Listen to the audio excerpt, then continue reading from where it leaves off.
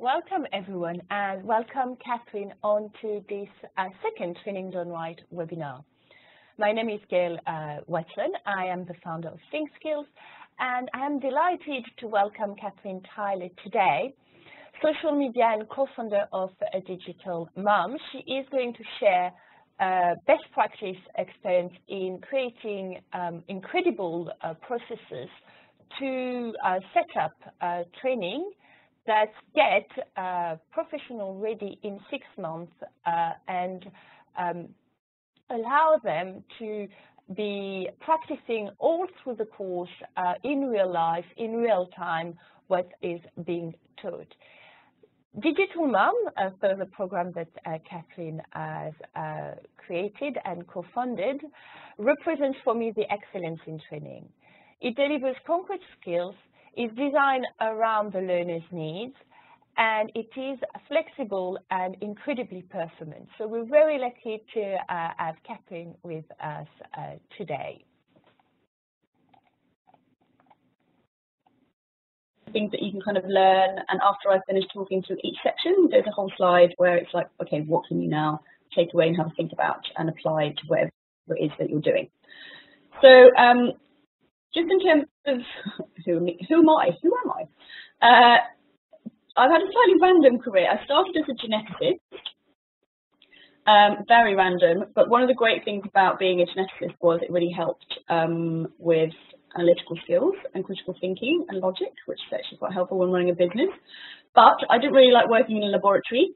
Um, I did some interesting work in obesity research and HIV vaccines, but laboratories, which is not the place for me. So I decided to completely change career when I was about 25 and I moved uh, more and more into kind of communications. My first role outside of the lab was working for a rights-based charity. Um, and one of the great things about that was it gave me this real uh, participation focus and we had a youth panel who helped us to make all of our decisions. And I think that was probably the first step on my journey of really putting your customers or you know whether they're learners or whatever at the center of what it is that you're doing. Uh, from there, I moved to the NHS, which they were they were not very good at involving anyone in anything. I think they did one patient survey to adults, despite the fact that 70% of their services were for young people. So I did loads of work with them and transformed transformed how they worked with their patients, including children and families, which was really exciting. And then from there, I actually went to work at somewhere called the Innovation Unit, Innovation Unit is one of the most amazing organisations. They used to be the Innovation Unit within the Department for Education. So I was working alongside top education consultants because they were still doing probably 60% of work uh, in the education space. But also they had a, a whole team of service designers that believed in the power of co-design. So if they ever transformed schools or hospitals, the first thing they would do is put um, patients or students at the heart of what they were doing. So that has kind of really helped to inform how I do everything at Digital Mums, which is very helpful. So seemingly random, but actually quite handy, almost fitted, some people might say. Uh, and then um, just a little bit more about sort of where we are with Digital Mums then. So we started officially trading in March 2014, and since then we've worked with almost 700 mothers. Uh, we've got a real focus on employment and employability. We don't really believe in training people so they get a certificate. We want to train them so they get a job at the end. Our flagship program, our flagship programs focus on uh, social media, uh, but we uh, upskill with digital skills generally. And currently 86% of our graduates are working as a result of our training, and this is the key uh, performance indicator for us um, because we're so focused on getting them jobs. Uh, so that's a little bit more about Digital Mum. So now let's kind of, and about me. So let's officially kind of talk through what I'm going to talk to you about. Um, so I'm going to talk to you about something that is one of the most important values and ethos at uh, Digital Mums, and that is user-centered design. Uh, so putting learners and making sure learners are at the heart of everything that we do. So let me just talk through my story so far and how this applies to the story so far. So as soon as Nikki and I came up with the idea one day, sitting in a cafe over some cake, uh, we can have some of our best ideas come come over cake. I highly recommend it. Um, so as soon as we came up with the initial idea for Digital Mums, we immediately started to work with mums and businesses because I'm not a mum and neither is Nikki and neither one of us is run a business. Uh, so we started working with mums and businesses to find out did they think it was a good idea? If so, you know, how much would they potentially pay for training? Um, what would the business need? What would the learner need? So right from the beginning, as soon as we had that initial kind of aha moment, that's what we started to do. We ran lots of surveys, we gathered data, we also did focus groups, um, because I think data is really important, but you really need to uncover kind of stories behind the data. Um, so we did focus groups to gather that. And then we formed what we called our first co-design team, which was made up of moms and some small businesses that helped to inform our first official prototype. Uh, we worked with that team even to design the first lot of content that we did. So we actually would produce small bits of content and we would send it to our learners and we would ask their opinion, was it too complicated, was it too straightforward, and we also kind of started to assess where they were in their learning journeys and how much kind of support and help they would need. So right from the beginning, that's what we started to do, and I think that's really helped um, with our success. So we've never kind of gone in completely the wrong direction because we haven't talked to people about what we're doing. And then we ran our first prototype. We kept it very small and manageable, so only eight students. Um, we gave them all surveys to find out what their needs were, and then we built a very lean prototype, um, just basic content.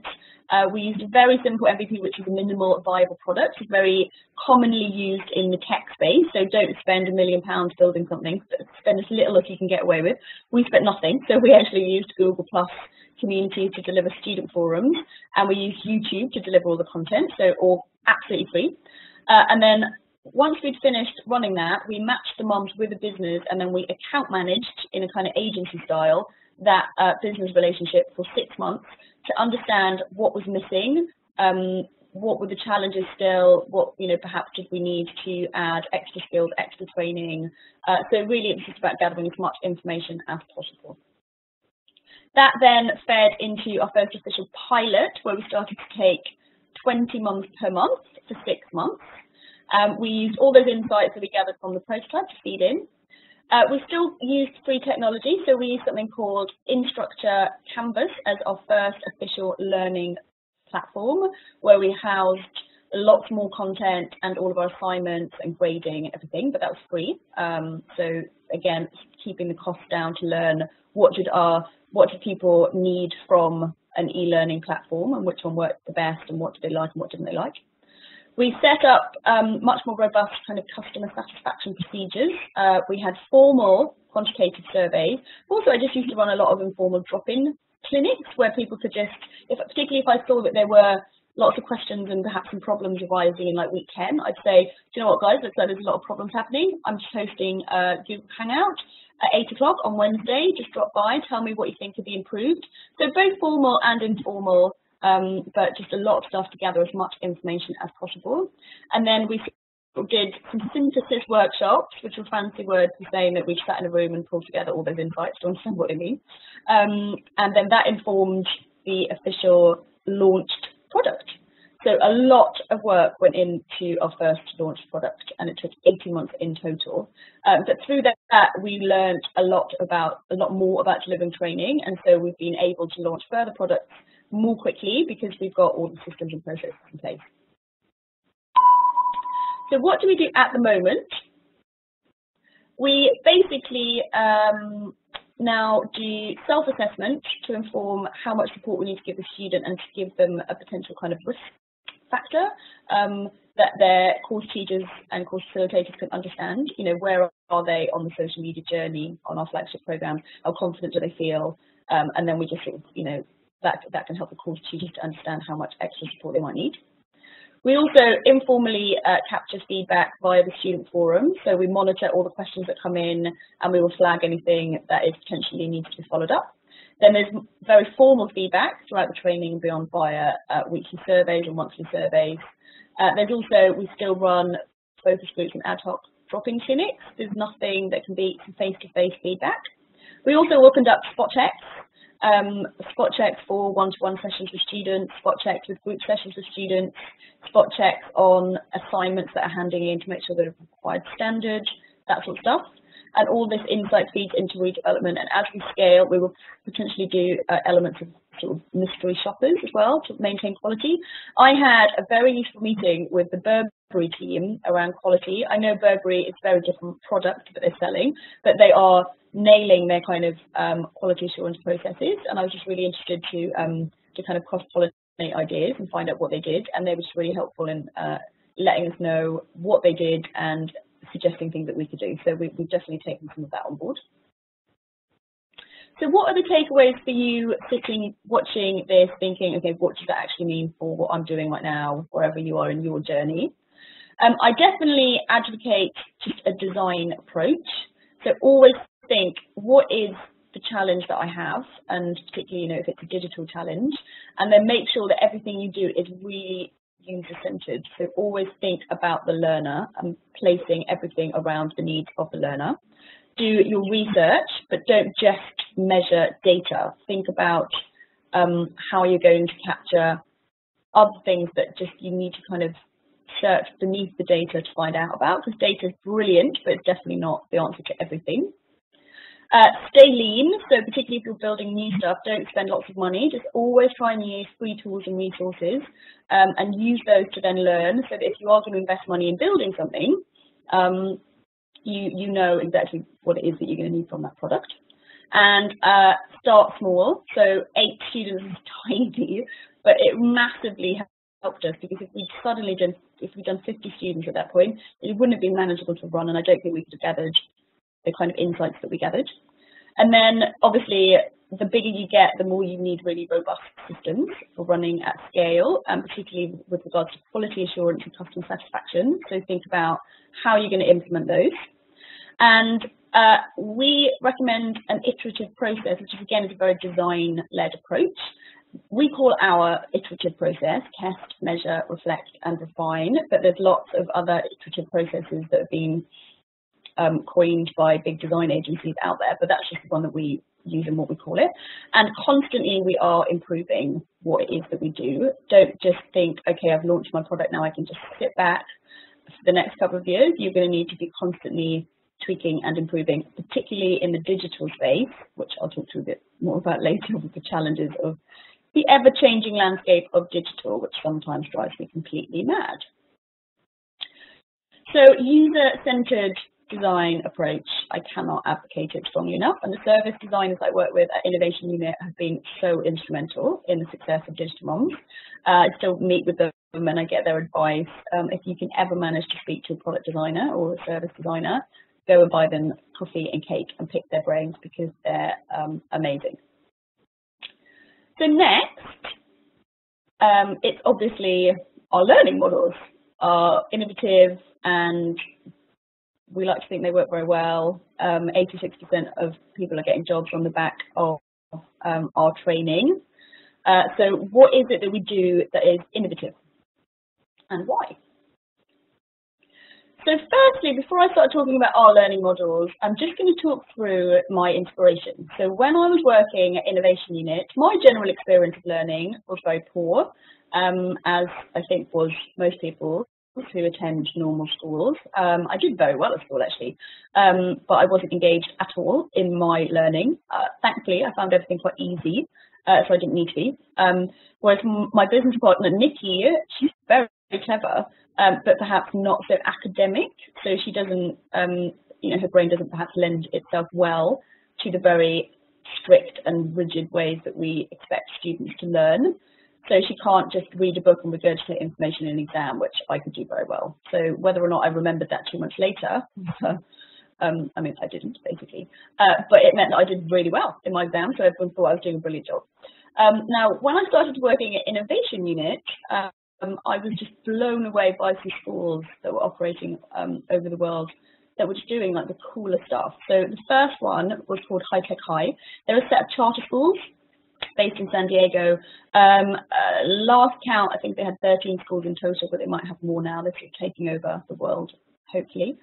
Um, and lots of our team went over to visit and they all just would come back just completely blown away by what was happening there. It looked nothing like a normal school. Um, and the reason for that is that they based their entire curriculum around uh, project-based learning learning. Um, I'll talk to you a bit about that in a sec, but first of all, I just wanted to say that High Tech High, um, they have 99% of their students going to college, which is much higher than um, not just the San Diego average, but the national US average. And they don't select, there's no selection procedure. The students are taken from an algorithm to make sure that it's a representative sample of where they are. So they have really phenomenal results in a very traditional academic sense. Um, they do get great SAT scores, but that is not their, their they measure what matters to them, which is what students do after school. Um, I think that's a bit of a problem in our school is that we just care about their A levels and then actually they could be unemployed um, and on crack at 25, but we don't care because we don't track that. Uh, whereas High Tech High actually follow their students not just to college, but after college to find out what they're doing, and they've got really phenomenal results. In terms of project-based learning, what does that mean at High Tech High? Well, everything they do and everything students learn um, is based around multidisciplinary projects students lead and design these projects, um, and they're partly based on the passion and interest of the student, but also they're designed by teachers and it's based on the passion and interest of the teachers as well. And then all the content that they learn is scaffolded around these projects. And these projects apply learning in real world situations. And by that, I mean they will create products that they sell on Amazon, or they will create, um, you know, perhaps like multimedia presentations that they will go and deliver to architects um, in real life. Uh, we have a school in this country called School 21 that's really inspired by High Tech High, and they got their students to design classrooms, and they went and pitched to actual architects uh, to kind of to convince them why they should choose their architectural design. So it's very, very focused on real world jobs, whatever. Um, and then the projects go through multiple drafts, just um, as any project or piece of work would do if you were at work. Like you don't just do one piece of one piece of work that then perhaps goes to your boss. You might send it to your colleagues, get some feedback. You'd send it then to your boss. You'd get some feedback from your boss. So they use that um, structured kind of student learning, uh, multiple drafts from uh, feedback from their peers, but also from teachers.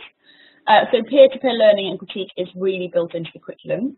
And then everything they do is publicly exhibited, whether it's in the school or in the community. So it's kind of really transformative. And then another um, amazing set of schools that are actually operating not just in America, but in New Zealand, Canada, and uh, Israel, and a few other countries now, um, are called Big Picture Learning. And one of the things that I found most inspirational about Big Picture Learning was they have real world internships. And I don't mean that when students are like 16, they go and do two weeks of work experience somewhere. That is not what they do at, um, at Big Picture Learning. And I don't quite know how they manage it, um, because it, uh, it, students spend two to three days out every single five days at internships. I think once they've got to um, secondary school, uh, potentially post 14. Um, and it's different at different schools, so it's not like one rigid system. But essentially, they're out and about on internships, learning real world skills and integrating any content that they're learning um, in, into those uh, essentially internships. Um, it's I, I, I, don't even know how they manage to do it, but they do, and it's amazing. And a lot of the assessment that they have is uh, is formative and regular, and it's linked to real world goals um, and being job ready. So you know they do really well with getting the students jobs at the end. Um, so I was very inspired by both of these uh, schools. And I took what I learned about what they were doing and applied it to adult learning.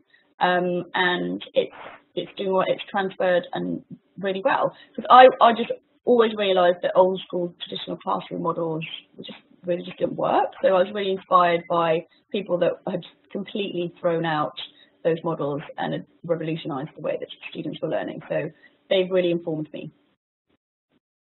So this is our real learning model. So our learning methodology is called real learning. Um, and there's different elements to it. So the first element um, is that the learning is all applied in real time.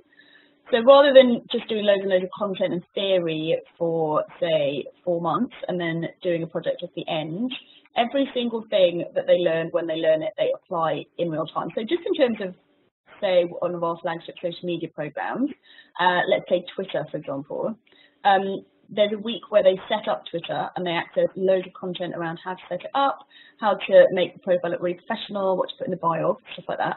And then the following week they have to find um, online influencers that can really help them and their businesses. Um, and that week they access all the content around how to find influencers. So there's lessons and then there's practical application and loads of walkthrough tutorials. Uh, so that's the first one and something that we're very passionate about. We don't think learning sticks without it. And then uh, the next one is um, that skip it is real world learning. So everything they do is real world experience. They don't do practice projects. They run live social media accounts. Everyone can see those live social media accounts. So if their tweets don't really work, they'll find out because no one will like their tweets and no one will retweet them. So all real world learning. Uh, they're very supported, so supportive communities is a really key one for us, not just in the training, but beyond the training. So all our alumni help each other with real world challenges post-graduation. Um, and that is probably one of the most powerful things that we actually do. Uh, the next one is peer-to-peer -peer support. So structure peer-to-peer -peer learning in wherever possible. And this one is particularly important, we think, when um, we get them to critique each other's work. Um, critique, peer critique is just so important. It's not just great for the person who's receiving the critique, where they get you know really good feedback on what it is that they're doing, but it actually really embeds learning for the person who is giving critical feedback and then it helps them to think about, well, have I actually taken that on board with my own project? And then the final one, which we're really passionate about, is cutting edge technology. Part of this is, is um, I mean, it's not like mega cutting edge things like podcasts. It's thinking what format should your content be in, and a lot of the time for us, it's video and, uh, and um, video walkthroughs and podcasts. But also, we have bought new technology called TouchCast, which allows us to do interactive video content where the students can interact with it to find out more if they need more information. So it allows an element of personalized learning. Um, and we're using that more and more. So I think always think, you know, I think sometimes people can skip to you know, a lesson or just a standard kind of tutorial webinar format, but just always think and look out for interactive um, technology that you can use and implement with your learners because they we've got loads of feedback that the TouchCast videos, the students love them. So that is our real learning methodology. Um, you might be now thinking, okay, that's quite a lot to take in. How might that apply? And interestingly, I um, I got approached by uh, it was actually my ex-boyfriend I used to my 22 runs his own recruitment company, and he said, you know, you're now this like guru, his words, not mine, guru of training. I mean, I don't think I am. Um, but he said, you know, loads about training now, and I I basically take on loads of new graduates. Obviously, I select them for the, potentially the right types of personality for sales, but I have to then train them up. Can I talk to you about my ideas for how I'm going to train them and you can maybe give me feedback? I was like, yeah, no problem. Uh, so he um, said, firstly, you know, I've got 20 grads. Um, I need them all to be performing as recruitment salespeople for me in the next few months. I need to start, you know, bringing in the money.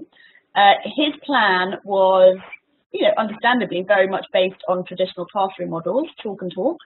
The only assessment he was then planning on doing was once they were actually out there on the sales floor doing real calls, and he was only going to train them in sales techniques.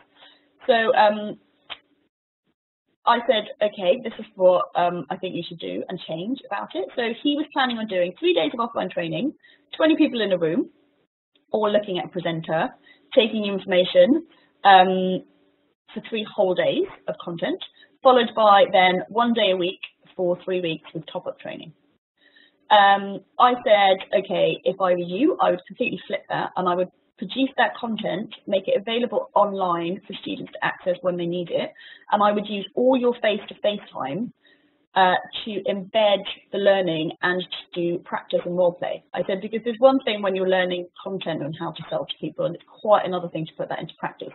So using our you know live application of learning and real world learning, um, I said that's what I think you should do. So I think you should completely change it. And then he'd made no attempt to sort of build in any real life challenges. They were just going to learn and then they were just going to go out and do it for real. Um, and then there was no sort of follow-up training. So I said, can you structure in live sales calls once they reach a certain threshold of assessment? So if you think they're confident to do it. Um, and then you should probably shadow those live sales calls for a while, give them maybe a mentor, um, and then give them a kind of ongoing feedback and assessment while they're actually on the sales floor, which he thought was a great idea. Um, so that is just some examples that fit with the live application of learning and real world challenges. And then I said, are you doing any peer-to-peer -peer support? We're very passionate about peer-to-peer -peer support and it's one of our um, methodologies. And he said no, he wasn't. He was just planning on doing one group, 20 people in a group. And I said, okay, well, why don't you think about doing four groups of five and then get those peers to actually work closely together they can do role playing and they can actually critique each other. There's, there's an exercise called like a fishbowl exercise where there's two, um, you can get, uh, you know, two people and then three people like are watching what those two people are doing and then they can give feedback. So um, I said I think that would be really helpful. And then, you know, he'd only planned on having a training consultant do all of the training. And I said, you know, just build in as much as possible that peer-to-peer, -peer, uh, which again, he thought was quite a good idea. Uh, just in terms of technology, uh, he was just doing that classic thing of just, he was going to do presentations and then hard copy lessons. And I said, I actually think interactive video lessons would work amazingly well for you because you could record role play um, on video and then students could interact and unpick things they don't understand. So for example, that you could have um, a role play of a sales call um, where someone is asking open-ended questions um, and if at any point students don't really kind of understand what's happening, they could interact with the video and it would unlock another lesson where it's like explaining a lot more what's happening. So it allows them to kind of really understand um, things much better. Um, I said also you could include podcasts of sales conversations and then break down techniques so that they could actually be listening to these podcasts while they're commuting on the way home. It doesn't have to just be lessons. And I said, um, you're only doing sales training, but they're going to face other challenges. What about content around digital tools?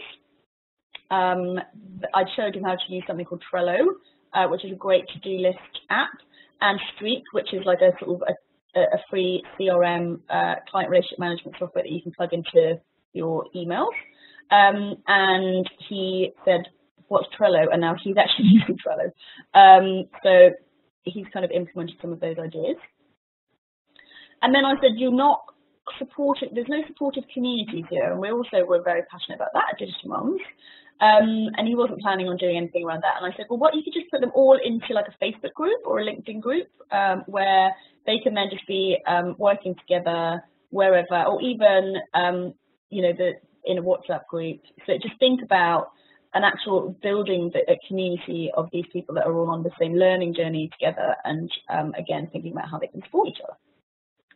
So not digital at all, uh, just an example of how to taking recruitment training, you can use the real learning methodology. Um, he also wasn't assessing learner needs, and I said, you don't know, all these graduates are going to be at completely different levels. Uh, so if you know where they are already, you can tailor content. So what can you take away uh, from this? So firstly, assess learner needs up front uh, and then allow for an element of personalised design and design for those learner needs. Don't just jump to traditional classroom models just because that is, you know, what most people do and it's the norm. Don't don't replicate that that old school talk and talk model, but just put it online. I think a lot of people do that. A lot of people are like, oh wow, online learning is so innovative. But actually, they just take the normal classroom model where where you're in, you know, 20 of you are watching a video, um, in, a, in a room and they just make that room online. Like that is not innovation. Um, scaffold all your content around real world application and just constantly be thinking what are they going to be doing in the real world and how can I scaffold content around that and also set them real world challenges.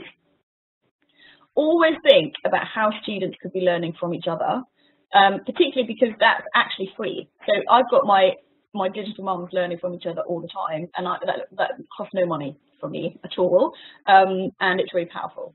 Uh, so it's just a really smart one.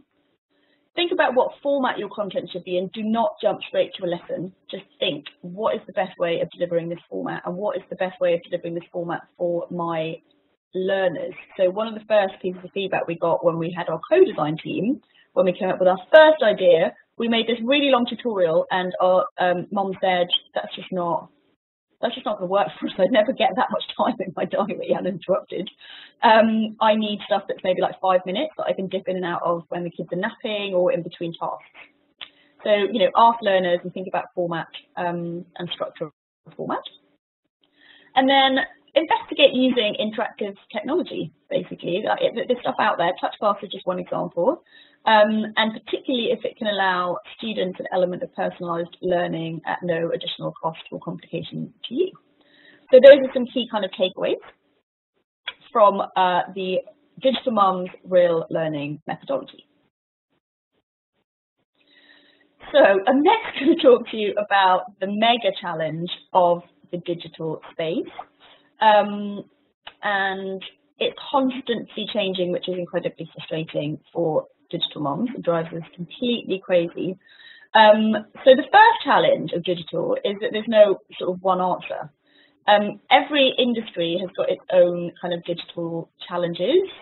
Um, so think about designing for specific industry and challenges. So, um, you know, I've talked to lots of different industries. You know, I had a chat with the HR director in media one day. The next day I had a chat with a media director in, um, in the legal space. So it's different for different industries. Sorry, my intern is just coming back. Um, and then think about designing for iterative development because it's never going to be static, essentially. So it's going to be changing all the time. So you need to think, how am I going to be continually improving my training? Because that is the, that's the, what's going to be happening. And then you need to build general digital skills and capability that people can adapt to different technologies. So we can't teach our students purely what you know a couple of tools and for social media platforms because next year there could be a new social media platform and there'll be a hundred different tools. So you've just got to think, I actually need to build general digital skills. So introduce them to lots of different apps and tools so that when they're faced and also build their confidence and when they're faced with a completely new app, they just go, okay, I know I see how this works. You know, because often there's some things that are standardized. Um, there's often, you know, settings are like a little cog this this stuff once they get used to it, they just go, okay, I see how this works. I'll just you know, uh, they can adapt it and they can pick up new and different apps. So those are some of the, the, digital challenges that keep us awake at night. And if you work in the digital space, I'm sure they'll keep you awake as well. Um, and what we do to try and deal with these difficult, difficult situations is that we prioritize what we include to start off with because there are so many tools and apps we can't possibly teach them all. So we prioritize on the basis of the most popular and the most useful. And then uh, we get our course teachers, um, of which we've got like 15, to be experts. Because not no one teacher can be an expert in everything. It's just not possible to hold that much information in your head. Um, so we kind of split them up and group them. So you know it might be that one of them is an expert on Twitter, one is an expert on Snapchat, um, and, and, then some are expert on uh, tools that can help you in your work life, like Slack, for example, which is a bit like a sophisticated WhatsApp or Facebook for work. And then we also actually use the graduate community that all of our students join um, once they've graduated. And we crowdsource digital updates and some content from our graduates who are obviously doing the job. So um, we think about how we can harness those people that are doing the job to help us with um, content and to feed in uh, tips and things to our students. Um, and then sometimes students will actually flag updates in the forum and we have a formal kind of process for capturing that, particularly because something like Facebook will do A-B testing. So um, often, um, so we, we, we kind of set up Google alerts so we do find out from Facebook when changes are being made, but we can't make a video walkthrough update because we don't have that change available yet because they might only test it with 10% of Facebook business users. Um, but um, sometimes our students have got it on their business accounts as they're one of the 10%. So we then um, will have a chat to the student uh, to get a bit more inside what's changed, and that's all kind of. Then we do a quite a dull but formal content review every six months, uh, and an informal content review every three months. So every six months we formally go through the content and just flag what needs to be updated, and we use Evernote to tag that content. Um, so our lessons are tagged with lots of things. So if they mention Vine, which is an app for um, creating video, which is now just in the last month gone, it's been gone out of date. So it's, it's basically been discontinued. It doesn't exist anymore. We can go into Evernote and find where it's referenced and take it out so that our students don't go, okay, I can't, I don't, how can I use Vine? And actually they can't use Vine, this doesn't exist anymore. And then we have uh, ongoing training regularly for all of our tutor team and also our facilitation team as well. And some of our facilitators also work as, um, so the ones that are facilitating social media management courses actually are social media managers on site. So they're keeping their hand in uh, one day a week with like a client, which is really helpful actually. So kind of that's the stuff that we do, which looks quite easy because it's captured on one slide, but uh, is a lot of work. Um, and so in terms of what you can take away from that, it's really key to design for whatever market you're operating in within digital. You really need to prioritize. So there are thousands uh, of digital tools out there, so you just need to prioritize which ones you're going to actually include because you'd never be able to keep on top of uh, covering everything. Think about how you're going to catalog and tag your content because if you're going to need to update stuff regularly. That is going to be key. So we use Evernote, um, which is really useful. Uh, we, we, we find it great and it's also um, really cheap. Uh, but there's other ones out there that you might find better. Um, we we build relationships with digital providers. So I meet I meet Snapchat next week, for example. So actually, um, we build relationships with those people and they let us know when stuff is updating slightly in advance of time. And they kind of help us to think about what those updates mean then for our training, which is really great. That just involves a lot of schmoozing and again, a lot of cake, um, which is a hard job, but someone's got to do it. Um, and then we use tools like Google Alerts and RSS feeds on blogs to stay up to date um, with changes of different tools that we've included. And then really think about CPD for your trainers. So you've got to think about how uh, you're going to keep the the skills of your team up to date because that is just an absolutely crucial one. And then lastly, what I'm going to talk to you about is one of my favourite things in the whole world, and that is um, flexible working. Um, so at Digital Mums, we have a team of 30 people, 28%, 20, 28 of those are working moms, and they all to some extent will work flexibly um, and remotely. So we work with them to create uh, what we call work that works. So it's a way of flexible working that works for them, and it's a way of flexible working that works for us. So let me just use our course facilitators as an example. Course facilitators constantly ask and uh, answer questions from students. Now, because our students are mums, most of these questions come in at 8 o'clock in the evening because all of the mums have basically done everything they need to do that day and they're kind of sitting down. Some of them have got a glass of wine, they've got their laptop and they've got a few hours to actually get some work done. Um, now, because we um, have flexible working amongst our course facilitators, we've always got cover, not just at 8 o'clock, but also at weekends. So it's a flexible option that, they love, that works for them, but also it really makes sense for our business. And the reason that we call our way of flexible working work that works is because we think that it needs a little bit of a rebrand because a lot of the um, rhetoric around flexible working is very kind of employee led. So employees getting to work when they want to work. And then I think some businesses can just initially just be quite resistant to that and think, how is that going to work for my business? But actually, if you're open-minded, it can work very well for your business. It worked amazingly for us when we were a startup because we had um, people just doing part-time jobs, and we couldn't, quite frankly, we couldn't afford for them to do full-time jobs. Um, it works amazingly well for our very senior head of learning position because there's so many skills needed for that job that actually it made way more sense for it to be a job share between two people anyway. One um, one of the job shares has got marketing background and one's got an education background.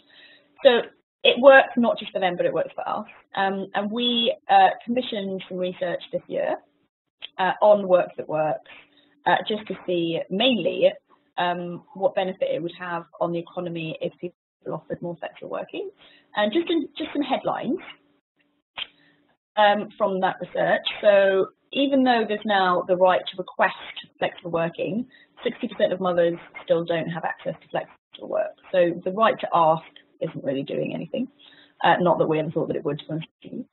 Um, and only 14% of mums uh, felt their skills hadn't been or wouldn't have to be compromised at all to find a flexible job. So for those that did work flexibly, very most of them had had to compromise um, and take more junior positions, which was very frustrating for them. And then just in terms of economic, economic benefits, so we said, okay, you don't have access to flexible working, but would you want it? And so in terms of stay-at-home mums, 68% of stay-at-home moms would go back to work in some capacity if they could find flexible work that fit around their family, which equated to 30 million additional hours to the economy. And then mums that were already working, if they could have access to more flexible work, would work more hours, and that uh, that was 70% of working mums. Uh, and that would equate to an additional 36 million hours to the economy. So actually, if you added all of that up, it could potentially deliver an additional 62.5 billion pounds to the uh, economy every year. Obviously, that work needs to be out there, but the work would be out there, I think, if businesses were more open to flexible working. And we would not have got to where we were today in such a short space of time, bearing in mind that I think we had four staff about two years ago, and now we've got 30 staff. Um, and we quadrupled our annual turnover in the space of 12 months if we hadn't been offering flexible working, partly because we get this ridiculous amazing talent. So when I advertised our head of learning position, the people that applied for it were just completely off the scale in terms of like how well they were qualified because we predominantly got mothers applying uh, because they wanted to work part-time and flexibly. Um, so it's just massively benefited our business, which is why we're a bit evangelical about it. We're talking about it everywhere, all the papers and things which you might have seen. Um, but what does this mean for you? Um, I think at a very basic level, if you want to offer more uh, a workplace that works a lot better for working parents, um, it's very obvious that if you are offering training, it's got to be online. I think some people make the mistake of structuring face-to-face -face training all day, like nine to five, like, work, like it's terrible timing um, because school run timings and stuff like that. So actually, like face-to-face -face training, if you are going to run it, offering it between 10 to 3 um, is just gonna it's just gonna help working parents. Um, if you're going to train working parents, try and train them together because actually they're on a shared, um, they've got a lot of shared experiences. And I think actually we've seen how much our students bond with each other and how much our graduates bond with each other. And they actually meet each other offline, meet up for wine um, purely because they're in the same location and they're all in the Facebook group. Um, and I think that don't underestimate the power of potentially training people with those shared experiences together. Um, we structure all our peer-to-peer -peer work to happen during the evening, um, which I think is something to consider. Um, and it's a really great time often for working parents. We offer training in digital tools that will help people to work flexibly. Um, Slack, we use something called Slack, which I, I mentioned earlier is like a sophisticated WhatsApp. Um, it's incredible, and our remote, our, one of the best, one of the things I love the most about it is that it takes well, there's two things I love. It takes all of our internal comms out of email, um, which is brilliant. Um, and it actually is a time-saving device for me because I don't end up getting copied in emails and reading them when I just think I did not need to read that email. Um, but also, one of the things I love about it is that it actually helps to create a culture within our remote team. So there's actually like loads of Friday fun that happens on Friday afternoon where people share like comedy gifts and things like that with each other, even though people don't um, meet face to face, um, which is really nice.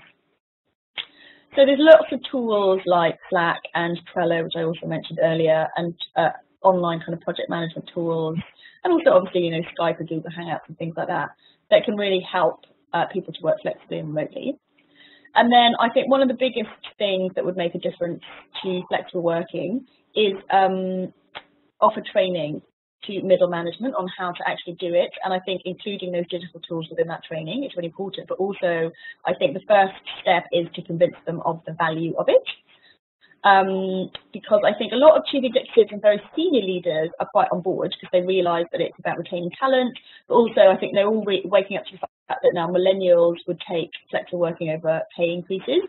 So it's not just working parents that want to work flexibly. Um, but often it's the middle management who have to actually make it happen and sort of do the logistics that get a bit freaked out about it. Understandably, I totally get that. Um, so I think offering training to them, not just on getting them aware of the importance, but also how to do it practically, I think um, would really help you to be uh, to be enabling a kind of a really healthy, flexible working culture in your organisation. Um, so that's it. That's um, that's what I wanted to talk to you about. So hopefully um, I've given you some good kind of takeaways that you can uh, learn from Digital Mums. And uh, if there are any questions, Gail, I'm happy to take some questions. Thank you so much, Kathryn. It was a fantastic presentation, and I think it's quite an eye-opener for the world of training, which is um, still quite conservative and looks at the digital tool in a way that, as you said, it's just transferring the face-to-face -face classroom straight into the uh, the um, online world, and that unfortunately doesn't work. People are disengaged. It's um, training as an event and not as a as a skills um, tangible skills gaining. So I think it was a fantastic presentation and a lot of takeaways. Wow. Um, I just um, just wanted, I've got a, full two pages of question and I'm going to unfortunately have to trim down if we want to stay into a, a bite-sized uh, video. Uh, so um, just a few a few questions. For example, uh, you've given a little bit of uh, an insight about the persona you create for your course. Do you want to maybe just dwell a little bit more, maybe for a minute or two, on how you know you came up with uh, how you created the person that you know is driving the digital mom course um, course structure.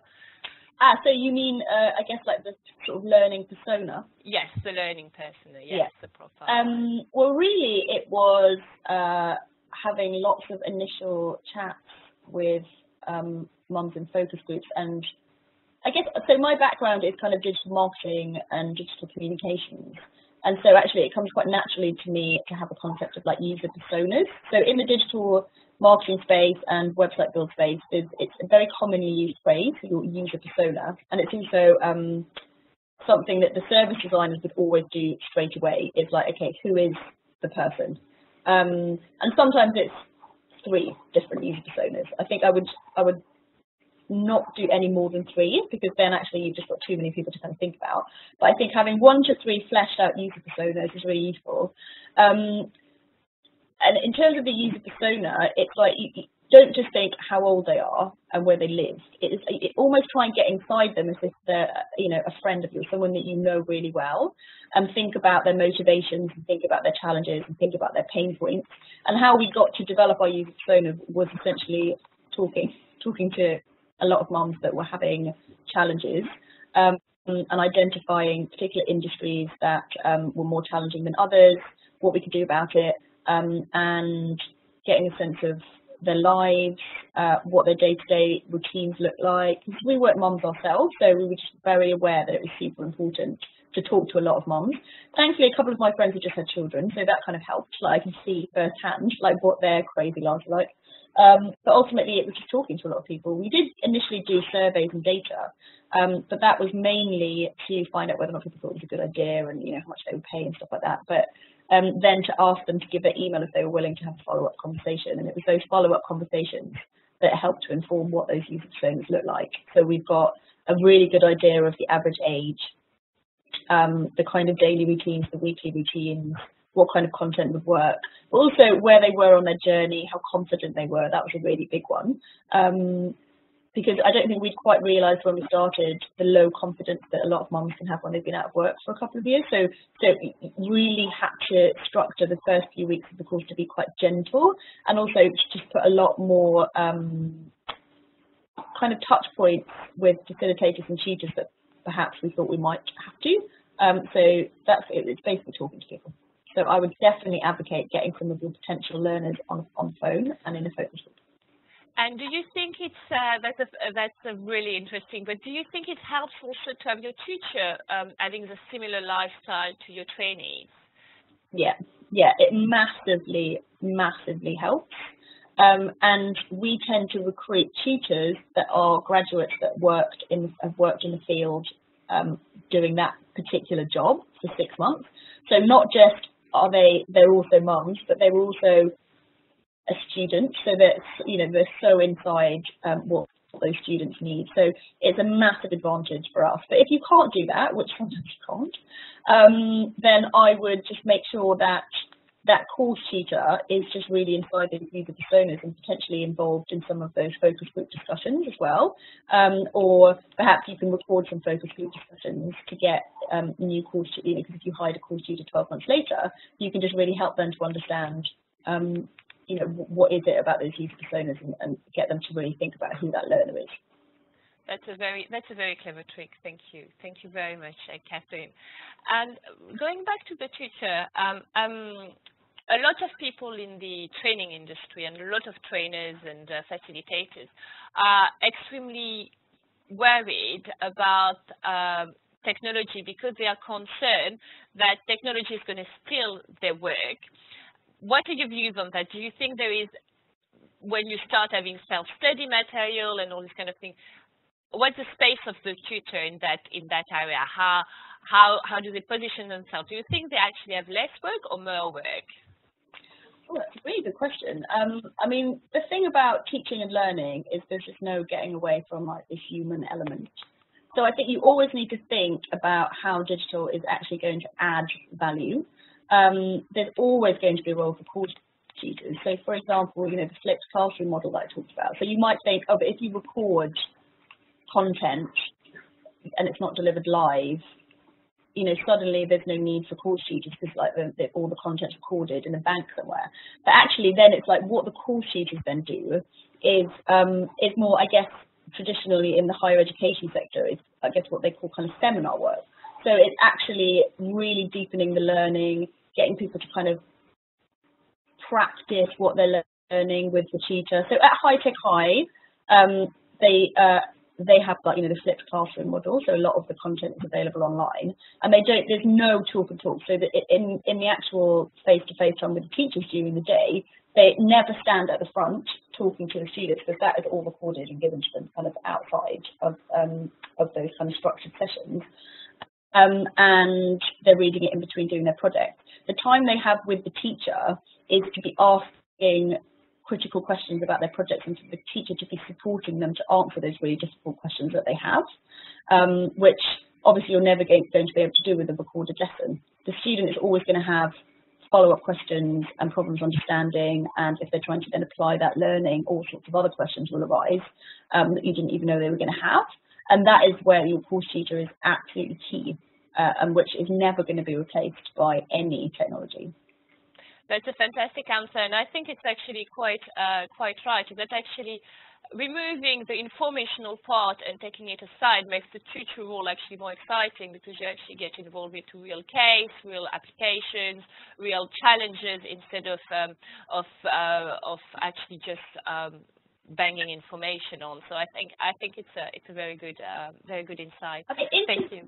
It's a really good question because Innovation Unit are attempting to bring the high-tech high model to the UK, and one of the things they found quite challenging is that it's the role of the teacher becomes very different. And some teachers absolutely love the new role and they're much more satisfied by it, but some of them are really scared of it. You know, they've been doing that one way of working for like 20 years, suddenly to have their role completely change, um, you know, it's, it's quite scary. So I, I totally understand the kind of reticence it is a big change and it is also really getting out of the comfort zone when you actually done something for a long time. It's um, you've used to processes, uh, way of saving yourself time. When you actually go back from scratch from the beginning and doing something in a totally different fashion, it's actually much more time consuming before it gets it gets easier. And I think that's something uh, online online and digital training is bringing to um, is bringing to realization also, I guess when you um, when you were a trainer and created your first face-to-face -face course, it did take a long time to, to actually make it happen. But as the years go, it's become your routine and it's easy. And now you have to go back and relearn. And it's difficult. It's difficult um, for people. So I think it's, as you said, it's change management is actually sometimes quite hard on some people. Yeah, yeah definitely. And so um, one last thing that I uh, really um, enjoy listening uh, about is uh, your design for iterative development. And you write digital change uh, quite uh, quite a lot. And uh, I, a lot of people start with technology as a solution, and you actually advise to do exactly the opposite, is that not to pick up any technology and be flexible and adaptable um, constantly, so you you're not uh, you're not stuck with one model. Is that is that is that your views on technology? Um, I think it's about this. There's so much technology out there. I think that's part of the problem. It's almost like there's too much choice. uh, and it's difficult to know kind of what, what to pick. Um, and then I think once technology has been chosen and people have been trained in that technology, that's it. People are like, right, that's it now. That's the technology that we're You're using. stuck with it. Yeah. Um, and I definitely think that because new things are coming out all the time, you've got to be really open to new technologies that are coming out. Because actually, if you've had a piece of technology for three years, it's probably not innovative and cutting edge anymore because something else might have replaced it. Um, and so we are always, we've always got kind of one eye like on the future. Um, and we meet, you know, new startups occasionally that have got like new technology that they're testing in beta and things like that, just to kind of be like, could, you know, could that be uh, a potential? Because we always want to be on that cutting edge of technology. Thankfully, the TouchCast that we use is still there, but you know, three years time, who knows what's going to be available, right? So um, I definitely think that you need to kind of be open to change. And I think if you create a digital culture in your organization, so you don't just train them to use one technology, you're getting them to use other apps and tools, that actually your staff can pick up new technologies quite easily. Um, and I think also that's quite important. So don't just have them doing two pieces of technology that they tra you trained them to do because actually building their general digital confidence and skills helps them to then just pick up other technologies and also to come to you and say, have you seen this new app that I think could be really cool to use? You know, so I think having kind of a, a digital culture is, is great. And thankfully, you know, we've got very digital staff at Digital Mums. Um, Fortunately. so we're quite, we're definitely quite lucky in that respect. Um, but there's lots that you can do, I think, to um, to help your staff to be more digital. And the more apps and tools you use as a company, the more digital they're going to be. Absolutely. So, um, so it's something. It's about. It's not about technology. It's about the spirit of digital learning. It's a different uh, thinking process when you create content. Yeah, I think so. I definitely think it's a a different way of thinking, and the more you use digital tools and technology, the easier it is, and the more it becomes second nature, and the more you will just immediately think, is there a digital solution to what I'm currently doing manually, or is there um, something that I can do here with a digital tool that's going to really help my learners? That's amazing. And I can first can say, because I had two uh, uh, digital, trainee digital mom uh, helping me with my different campaign, I can definitely say that's a, a, program that works beautifully and that really achieved the result that promises. And, uh, and apparently you have to enjoy it even more with cakes. So thank you very much. thank you very much, Kathryn, for this uh, fantastic insight in uh, content development for the digital um, digital world, but and uh, digital work as well. So thank you very much for your time today, and uh, hopefully we'll uh, we'll work again uh, together soon. Yeah, no, for sure. Thanks for having me. Thank you. Bye bye.